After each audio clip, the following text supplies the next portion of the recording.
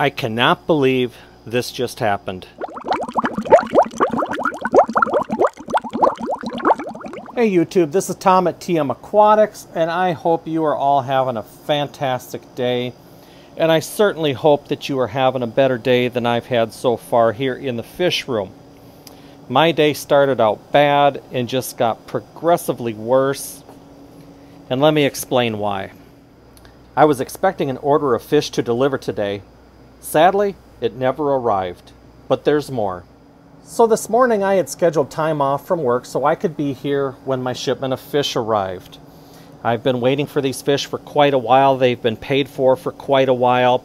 And I had confirmed with the shipper and the seller as recently as uh, I think it was four or five days ago that my fish order would be shipping out on Monday the 9th for delivery first thing Tuesday the 10th in the morning. And as recently as four or five days ago, yes, everything was still looking real good. Well, late last night, getting ready to go to bed, I get an email and it's from the shipper. And he mentioned that he apologized, but my fish order would be a little bit delayed because he had oversold his inventory and my shipment was going to have to wait until he received his next import order.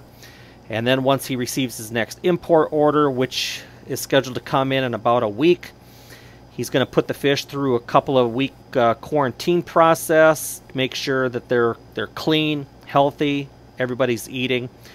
And, you know, that's fine with me. Uh, I just wish he would have communicated that sooner than the night before I'm expecting the fish to arrive. Not a big deal. It is what it is. So I've got the morning off and decided that I would make a new video on an item that I picked up over the weekend. So let me uh, go over to the bench here and let me show you what that is. Okay, what I picked up over the weekend is called the Watchdog Water Alarm.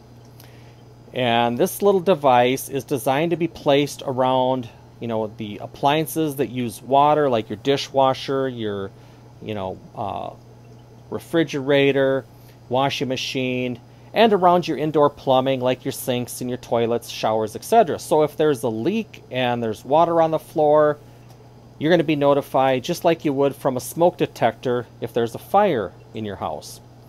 This is the unit itself, pretty compact, runs off of a 9 volt battery. On the bottom of the unit it has these two sensors. When these two sensors come in contact with water and the circuit between the two sensors is completed,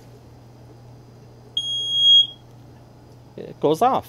Makes a really high, loud, annoying sound like a smoke detector would and lets you know that there's there's water. I've been looking for something like this for a long time or thinking about designing something like this on my own for a long time. Never knew this product existed. I forget where I saw it over the weekend, ran to Home Depot, picked one up, $12. $12. So let me tell you why I wanted one of these and why I originally uh, picked one up. So the reason I picked this item up is because twice in the past month now I have overfilled tanks while doing my water changes. I've gotten distracted. I took my eyes off the tank I was doing the water change on only to realize too late that I was doing a water change and I've got water overflowing. Now back here in the fish room, it's not a big deal. I have a concrete floor. I have a floor drain back here. Not a big deal. It's just more annoying than anything because it does make a mess on the stand or the rack. It does make messes on the tanks that are beneath them if it's one of these tanks on the upper racks. So I thought something like this would be perfect for the fish room for when I'm doing the water changes. And let me show you how that comes into play. So on the bottom of the water alarm here, these sensors detach and it's connected by about a six foot lead here. So when I'm doing my water change, and uh, I've got this on the side of my, my rack here. I can take the lead out, and again, it's about six feet long, long enough that I can reach the bottom tank, the middle tank, and the top tank. And the same holds true for when I'm doing water changes on this rack. I hang the unit on the side over here, and that lead is long enough to reach any of the six tanks over here on the uh, fish rack. So when I'm doing the water changes, all you need to do is simply just hang this over the side of the aquarium so that it's inside the tank and about where you want your water line to be, slightly below that. So I let it hang just underneath the black rim when I'm doing my water change. And that way, if I'm getting, if I get distracted, I'm filling up the tank, and as that water level comes up, if I'm not back paying attention, this is going to go off and it's going to notify me that my tank's getting full and I need to get back to business to avert flooding the floor, flooding the tank, overfilling it. Okay, great. Works perfect for that. Now, when I was at Home Depot, I thought I was going to get two of these. I had two of them in my cart, and at the last minute, I put one back.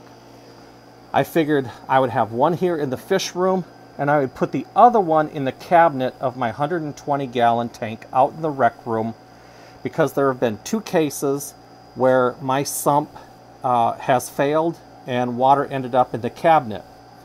Those issues were resolved, and I figured I didn't need one of these for my 120 gallon because there's no possible way that I would ever have an issue with that sump, sump system ever again. Oh, the irony. So since I had the morning off from work, I decided that I would do a water change on the 120 gallon out in the rec room. I was supposed to be doing maintenance on that tank this past weekend, but I got distracted with building this stand over the past weekend. This is my fry rack and grow out rack that I'm going to have two 20 longs and a 29 gallon still to be acquired. But I spent a lot of my time on this, time got away from me, and I didn't get the maintenance done on the 120 gallon.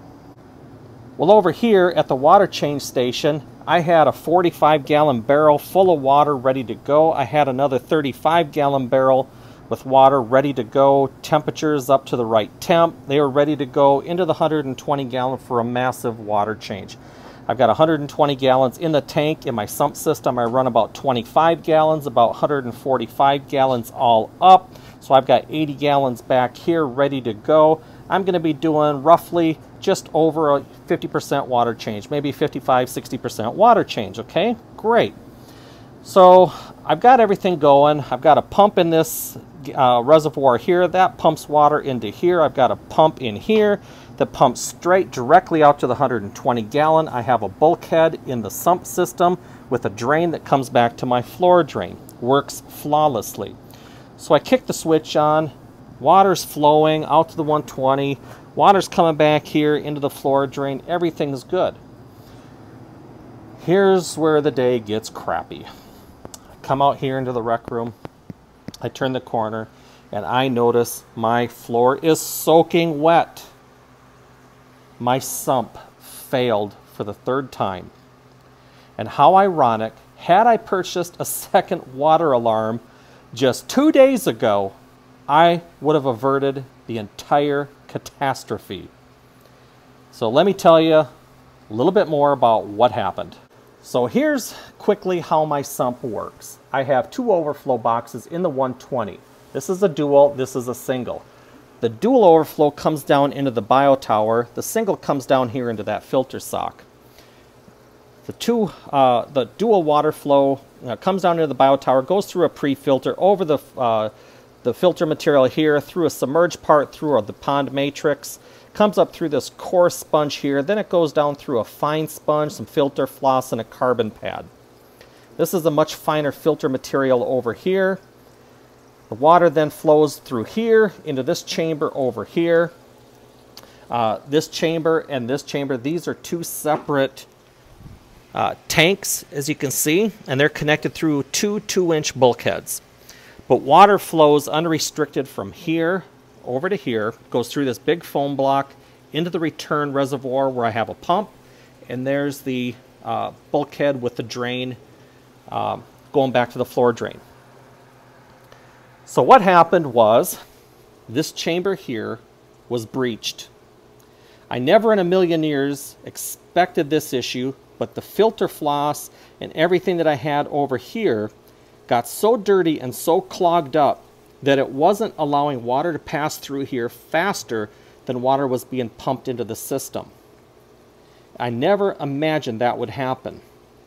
But this, sure enough, was up to the top and water was breaching over the side. Oh boy. So anyways, I have about an inch of water in the stand. there was at least an inch of water standing in my stand. I had at least 10 gallons of water on the floor. I quickly shut the system down. I kill the water flow. I get the carpet machine out. I'm sucking up the water. What a mess. Had I made time to do the maintenance this past weekend, this never would have happened. Had I bought one of those watchdog water alarms and just simply stood it up in my stand, which I had planned to do, this wouldn't have happened. I thought my system was fail-safe. Now, this is not a manufactured sump system. This is a 100% DIY, self-made, self-designed sump system through a bunch of oddball parts that I picked up from an LFS that closed and went out of business about five years ago. I pieced this all together, threw in some extra baffles. This tower didn't match this system. The drip tray didn't match the tower, but nonetheless, it got pieced together and it works great. I missed one small thing, one small design flaw. I never foresaw this becoming so clogged that it would cause the water level to breach the sides here, which it did. So all I need to do is take a hole saw, punch a hole through the top of this bulkhead here. So if this ever gets clogged, water will flow from this section into this section unrestricted. Same thing over here. If this big filter block or foam block ever got so clogged that would cause water to breach the side, I just need to punch a hole saw through this baffle here at the top. So again, water will flow unrestricted. That way those two holes will allow a fail safe just in case. Now you can see this foam block hasn't been serviced in a while. I usually do maintenance on this tank and replace the media like once every two to three weeks. Sometimes I go a month. Uh, and it's been a while since I last took this, uh, taken this foam block out. And you can see it, the water level's off about uh, maybe three quarters of an inch to an inch. So this thing would really have to get gunked up pretty bad for to, to rise this high. But anyways, um, that's the solution. But the irony that I was just looking at one of those alarms to put in the tank, and I was too cheap, and I was too proud to spend another 12 bucks to give me a device that would have saved me from that mess. So lesson learned. So needless to say, I will be heading back to Home Depot. I will be picking up another one of these Watchdog water alarms. I will be placing one inside the cabinet underneath my 120 next to the sump. And that way I have a little more peace of mind for 12 bucks. These can also be found on Amazon as well for 12 bucks. But great little device. I can see where this could come in handy in anybody's fish room. And, um, you know, if you're not aware of this product, hopefully you are now. And maybe it's something you might want to consider as well. It's not all doom and gloom back here, though. We still have some good things happening. I'm still waiting for that shipment of fish to come in, but I'm super excited, and I know once they're here, they're going to be great. One of my top three all-time favorite fish, and uh, I'm really excited to add them, and once I get them here, I will be doing an unboxing. It could be a blessing in disguise, because I have a new piece of driftwood coming for this 40 long down here, and that's going to be here in two days. It's going to be delivered on Thursday, and it is a beautiful piece, and I got it for a steal on eBay for five bucks. You're not going to believe how beautiful that piece is for five bucks. But that's going down here, and uh, you know, otherwise, like I said, it's not all doom and gloom. The zebra plecos up here are doing fantastic. Over here, over the weekend, I did find more ocellatus fry. Uh, there were at least five of them. Two of them were in a shell back here that I got out and put in the breeder box. There were three more down around in here. Those disappeared. Those got eaten. The ocellatus fry are already pre-sold. I have a couple of individuals in the local market that each want some. So these are all sold. I think there's a total of about 20 in here, which is why I'm going to pull out any ocellatus fry that I find uh, I've got other people inquiring, and one of my LFSs wants to buy some as well. So I need to maximize survival rate. I will continue to pull fry as fast as these guys produce them. Because I want to buy more zebra plecos with the money I sell from uh, those fry. Um, otherwise, everything else is going good. The Blue Dreams are doing fantastic. I have a bunch of berried, uh, uh what are these, Bloody Marys up here, or in this tank here. Uh, I have some berried tangerine tigers back there. There's one of them right there. I think there's three females in here that are berried up.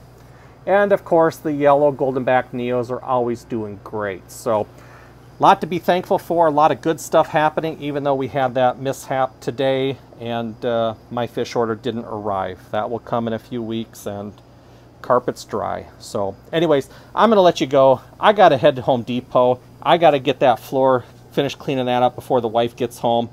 I appreciate everybody watching my videos. If you're not subscribed to my channel, please consider doing so. Hit the thumbs up button. Put any comments or questions down below. I got to fly, folks. Until the next one, we'll catch you all later.